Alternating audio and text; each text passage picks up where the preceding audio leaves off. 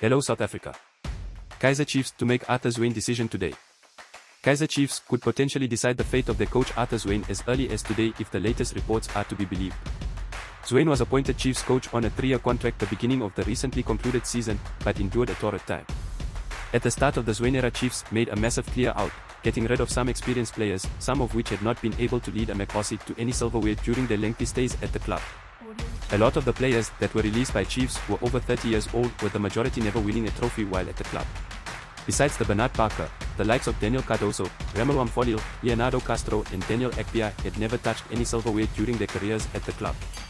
After that, Chiefs invested in players who were either younger or in their prime years, like Ashley du Preez, Zitha Kwinika, George Matlou, Dylan Solomons and Yusuf Maart to name but a few. With new acquisition Thatayaone Ditlhokwe, 24, Given Msimango, 26, and Mduduzi Mdantsane, 28, all proving consistent with Zwane's strategy.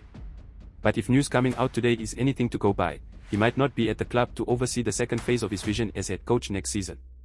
We pay cash for videos. WhatsApp 060 011 021 1. This is Soccer Life.